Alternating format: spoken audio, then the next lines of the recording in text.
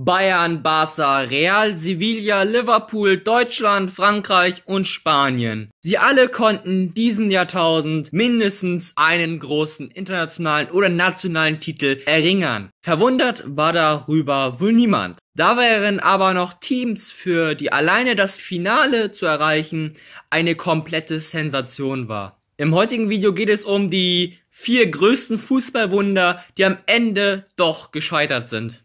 Auf Platz 4 AS Monaco 2004. Diese Saison 2004 war besonders spektakulär, da beide Finalteilnehmer absolute Underdogs waren. Monaco hatte den weit schwereren Finalweg als Porto. Die Franzosen räumten Lokomotive Moskau, Real Madrid und den FC Chelsea in der K.O.-Runde der Champions League aus dem Weg. Für die Portugiesen ging es gegen Manchester United, UL und Deportivo La Coruna. Das Finale in Gelsenkirchen war eine klare Angelegenheit für Mourinhos Truppe. Mitspieler wie Ricardo Carvalho, Mancini, Costinha, Deco und Paulo Ferreira war man individuell einfach besser aufgestellt als die Männer aus dem Fürstentum Monaco.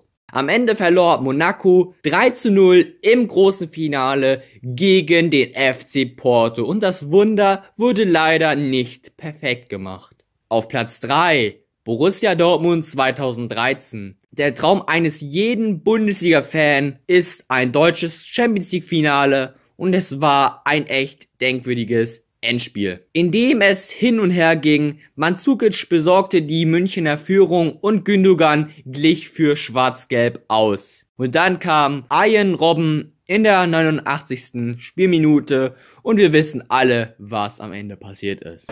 Ribery, Robben, Robben,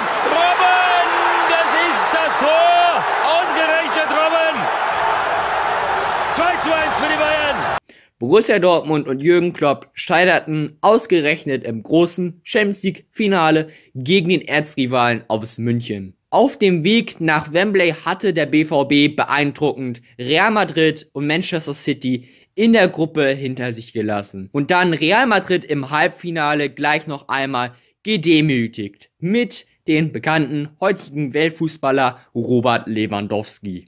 Auf Platz 2 Kroatien 2018. Was für die Deutschen eine Katastrophe war, war für die Kroaten eine einzige Party. Die WM 2018. Am Ende fehlte den Kroaten im Finale gegen die Franzosen ein bisschen Glück und einen guten Schiedsrichter. Weil ganz ehrlich, zwei Tore dürften meiner Meinung nach gar nicht gezählt werden oder wurden durch sehr ekelhafte Weise erzielt. Zum Beispiel war das eine Schwalbe von Griesmann bei diesem einen Freistoß, den sie bekommen haben. Und dieser Elfmeter war meiner Meinung absolut kein Elfmeter. Wenn man guckt, ähm, wo Ivan Perisic hinguckt und äh, wie natürlich eigentlich die Handbewegung war.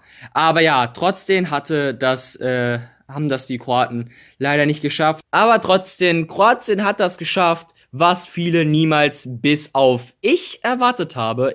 Am Ende, ja, gab es trotzdem ein Trostpflaster mit Luka Modric. Er wurde das allererste Mal Weltfußballer und war auch der allererste Kroate, der das geschafft hat. Auf Platz 1 FK Nypro 2015. Es war eine absolute Sensation und zwischenzeitlich schien das Wunder machbar. Als Ruslan Rotan den Ball kurz vor der Halbzeitpause zum 2 zu 2 über die Mauer schlänzte, glaubte wohl auch der größte Skeptiker, dass heute vielleicht Geschichte geschrieben wird. Diese Hoffnung zerstörte Carlos Barca, der in der 73. Minute für Sevilla den 2 zu 3 Endstand erzielte. Am Ende stemmt der FC Sevilla die silberne Trophäe zum wiederholten Mal in den Nachthimmel. Nun dann brach aber nächstes Jahr der FK Nypro auseinander. Leistungsträger wie Konoplianka oder Nikola verließen die Ukraine und der Verein stieg in der nächsten Saison kläglich ab. Schließlich wurde der Club in den tiefsten ukrainischen Amateurligen 2019 endgültig aufgelöst. Wenn euch mehr von diesen Fußballthemen gefallen haben, schaut euch gerne mal meinen TikTok-Kanal an.